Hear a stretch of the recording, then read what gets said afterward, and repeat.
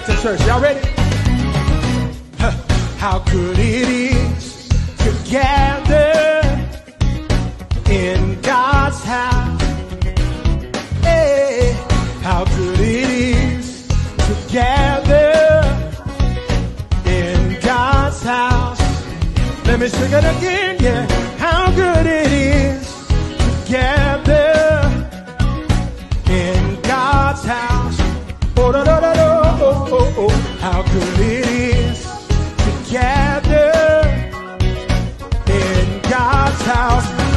we come to do. To worship and praise. To bless His holy name. How good it is to gather in God's house. Come on. Let's take it higher.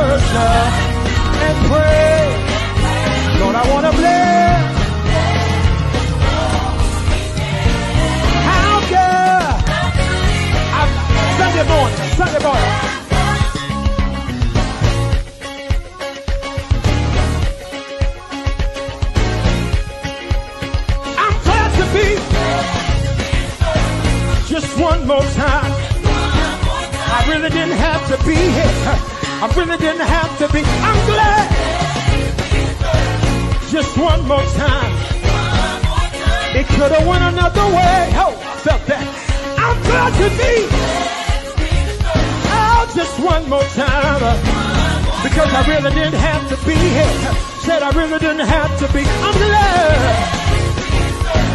Just listen, if I gotta praise and you know God's been keeping you, let the music play. Come on, let's bless it.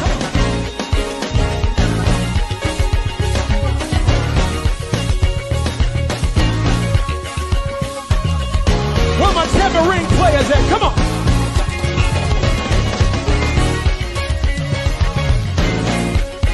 It. I'm glad to be. Just one more time. Oh, oh, oh, oh, oh, oh, oh, I'm glad. Oh, just one more time. God laid his hands on me. I got to say, I'm glad to be. Yeah, one more. Really didn't have to be here. Really didn't have to be here.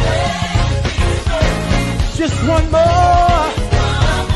Really didn't have to be here. Come on, let's go. Oh, to worship and pray. Lord, I want to bless. How good. Really didn't have to be here. I really didn't have to be here. I really didn't have to be here. I really didn't have to be here. You laid your hands on me. And I'm glad about it. Laid your hands on me. And I'm glad about it. And I'm glad about it. And I'm glad about it. And I'm glad about it. And I'm glad about because I really didn't have to be here. Good evening and welcome to the Thursday night Bible class for Hope Missionary Baptist Church. And on tonight, we will be discussing the believer's source of power. And this teaching is basically an extension of our formation for Christian ministry series. Have you ever asked yourself, what is the believer's source of power? If we ask a variety of different people this question, we may get a variety of different answers. However, just to get right to it, God is our source of power. And I think that we know that on today. But many times do we walk in the understanding that God is our power source, or are we trying to be the power source? Or are we looking for the church to be our power source?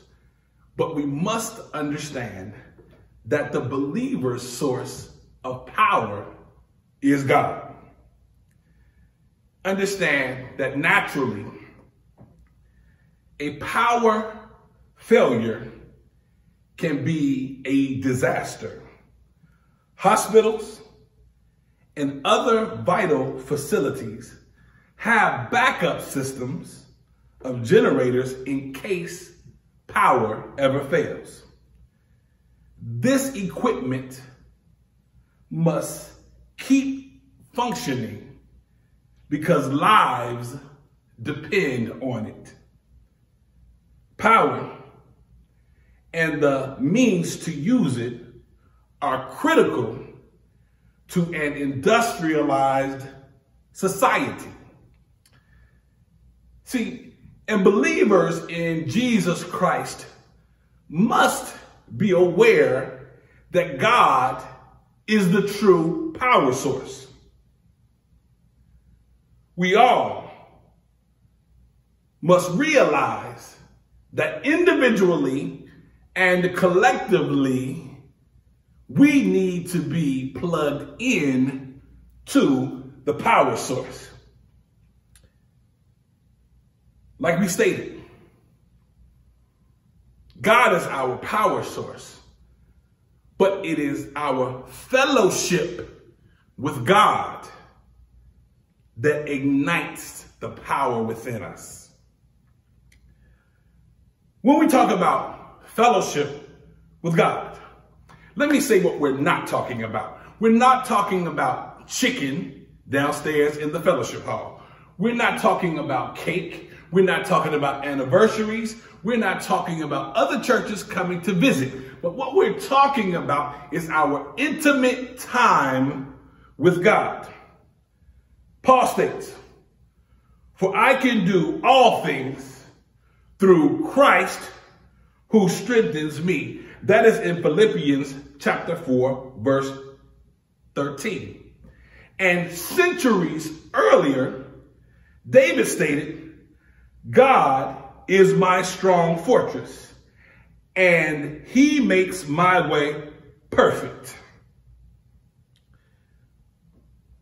We know, we stated this before, that God is the source of our power. But fellowship with God is what throws the switch and makes that power operative and effective in our lives. Fellowship. It comes from the Greek word koinonia. It is a unique word in the Greek. It means having in common or sharing with. Christian fellowship means sharing the things of Christ and sharing in the things of Christ. To do this, we must simply know who Jesus is. It's not merely enough to know about Jesus, but we need to know Jesus for ourselves. So that must, that has to be the initial step that we must take in cutting and activating the power within. We must know Jesus for ourselves in the pardon of our sins. But see, when we look at David, David's preparation for serving God as king was strengthened during his time with God alone in the Judean hills as a boy. So what we're trying to say is that as we fellowship with God, we need to make it a habit of spending time with the master. Years alone with God prepared David for his service under God. And it is our alone time with God that prepares us for the service we do for God.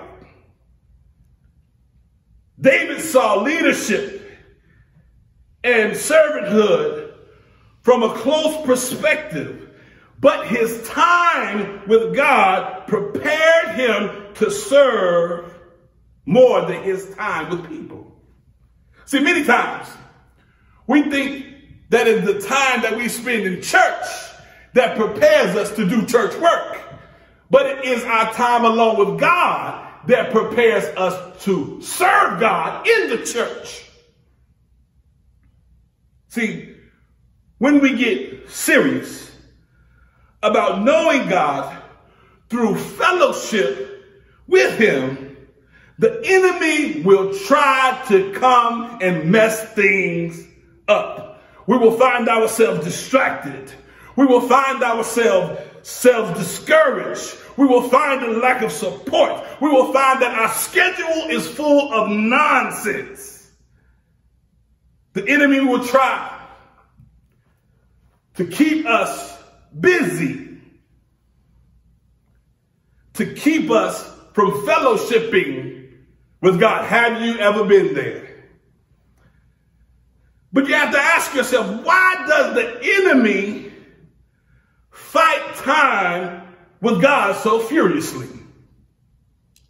See, because time with God is so important to our growth and so beneficial to our success in kingdom building. And the enemy does not want the kingdom of God to be built up. Have you asked yourself, what are the spiritual rewards that come our way if we are faithful to our fellowship with God? To truly answer this, we must ask another question. What is mankind's ultimate purpose on this earth? Isaiah 43, verse 7 reads, Bring all who claim me as their God, for I have made them for my glory.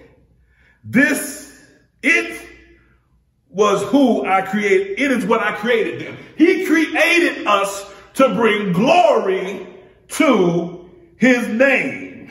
How do we accomplish this task of living a life that glorifies our God. We must understand initially that we were created for his glory. He created us in his own image to have fellowship with him. See, God had a close relationship with Adam and Eve before the fall.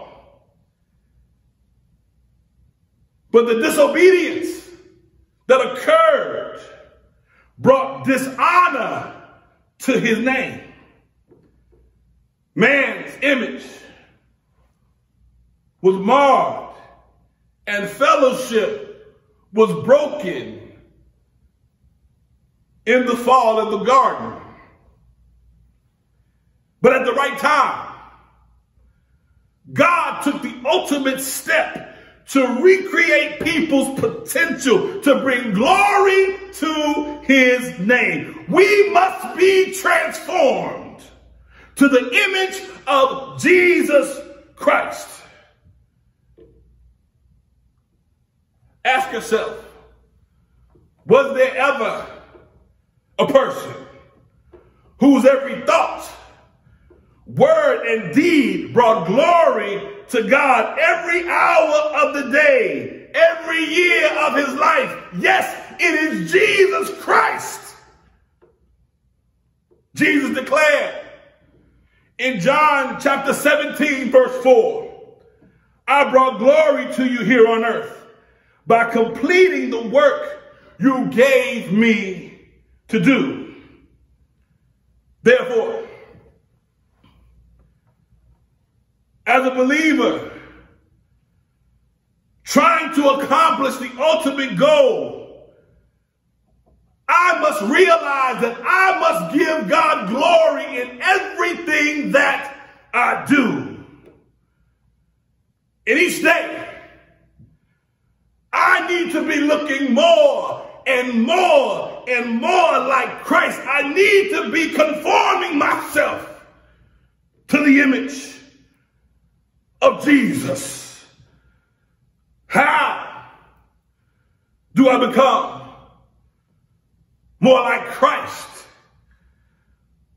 We have to make an effort to be around Christ. We have to make an effort to spend more time with Jesus Christ day in and day out. It's just like becoming like someone else.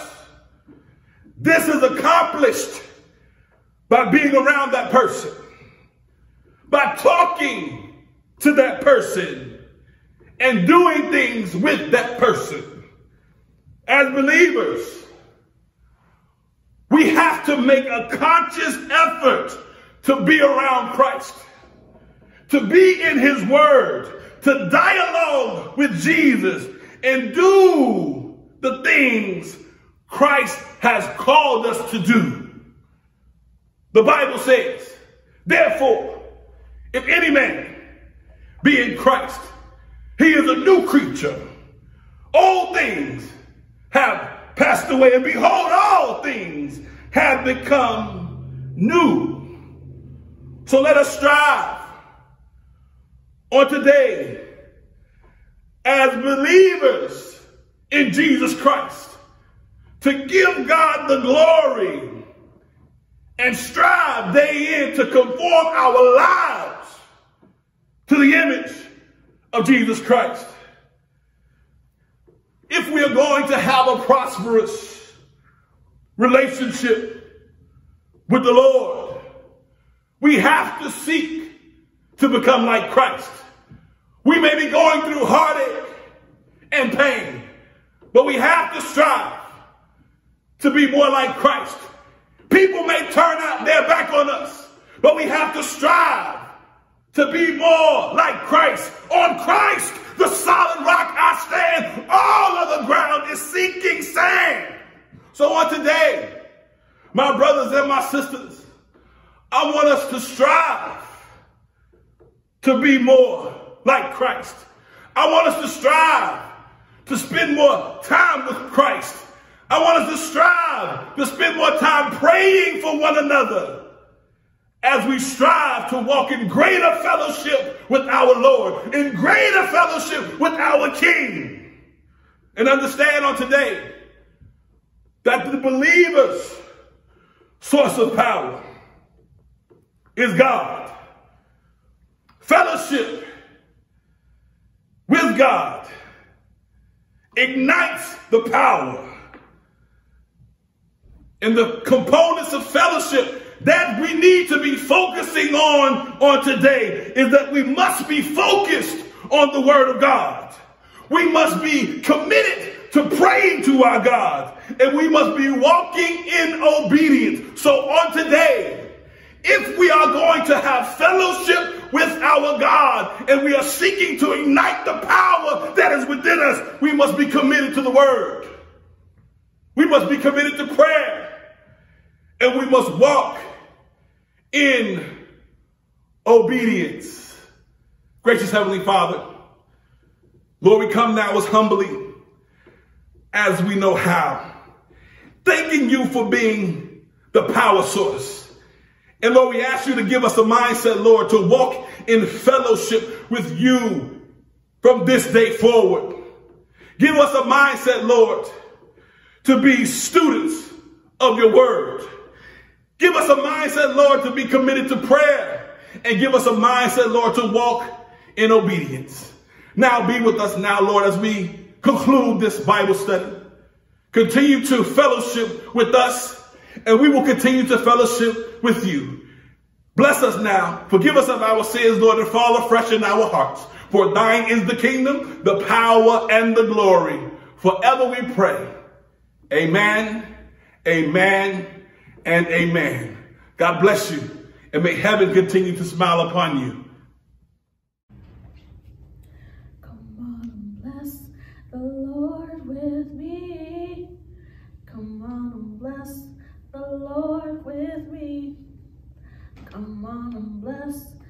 Lord with me. Yeah, come on and bless the Lord with me. Come on and help me Come sing. on and bless the Lord with me. Come on and bless the Come on and Lord. bless the Lord with me. Come on and bless the Come on and bless Lord. the Lord with me. Come on and bless the Come on and Lord. bless the Lord with me. Sing hallelujah. Hallelujah.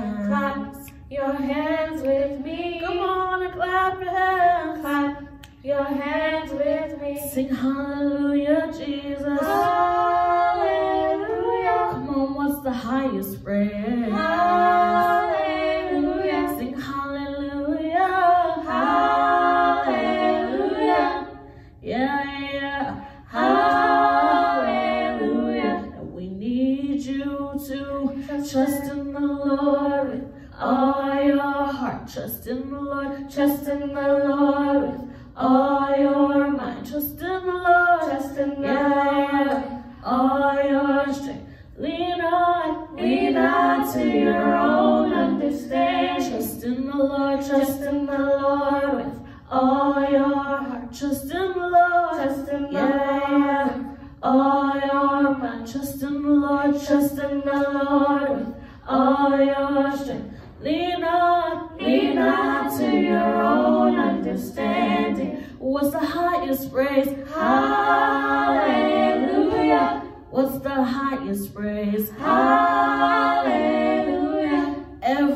Everybody sing hallelujah.